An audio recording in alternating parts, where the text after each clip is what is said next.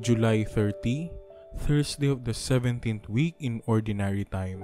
A reading from the Holy Gospel according to St. Matthew. Jesus said to the disciples, The kingdom of heaven is like a net thrown into the sea, which collects fish of every kind. When it is full, they haul it ashore and sit down to put what is good into buckets. What is bad, they throw away. Thus it will be at the end of the age. The angels will go out and separate the wicked from the righteous and throw them into the fiery furnace, where there will be wailing and grinding of teeth. Do you understand all these things? They answered, Yes.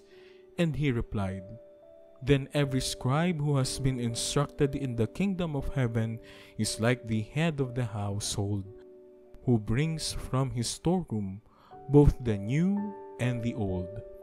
When Jesus finished these parables, he went away from there.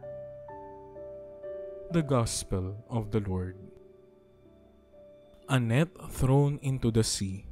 The parable of the dragnet is drawn from the ordinary experience of Jesus with his disciples, many of whom are fishermen one common way of fishing in Galilee is to use a dragnet. It is pulled between two boats.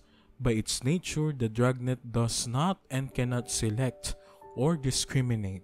It is bound to collect a great mixture of things.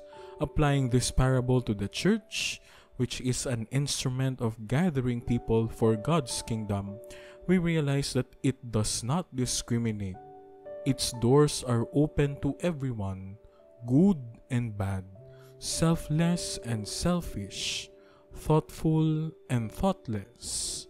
Thus, we find all sorts of people in church. Like individual Christians, the church is both holy yet sinful. Simul justus et peccator. This should not shock us.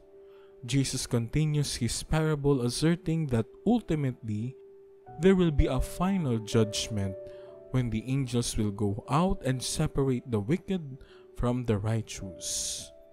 Am I sometimes scandalized by the human yet holy in the church? How can I be less judgmental of the weaker members of the church?